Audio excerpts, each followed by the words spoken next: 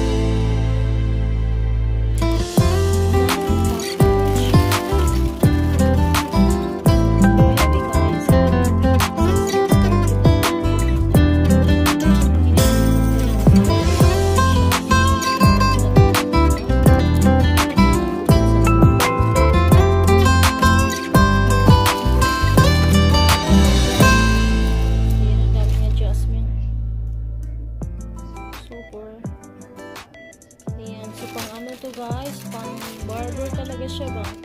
Pang complete talaga siya ba?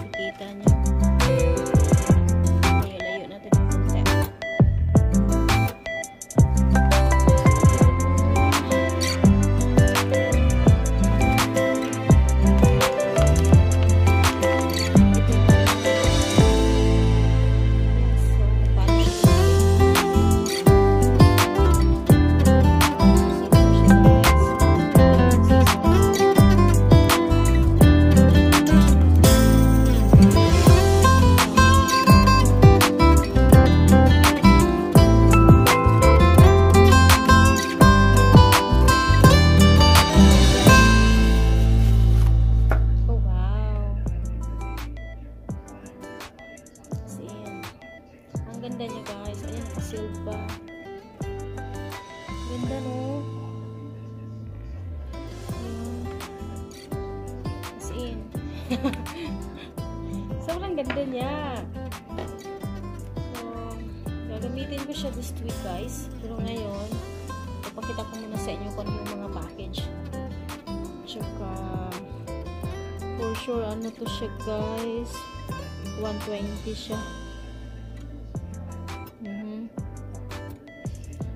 Guys. Ang gandahan. Meron din siyang kit.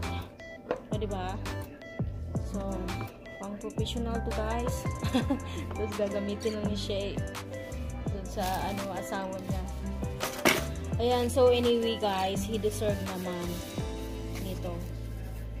Kasi nga nakaka-save kami dito sa ano, pagpapunta-punta ng shop. So, that's all for today. Thank you for watching. So, by the way guys, this is from Walmart. So, medyo siguro ano siya compare sa iba. So, that's all for today. Thank you for watching. Bye!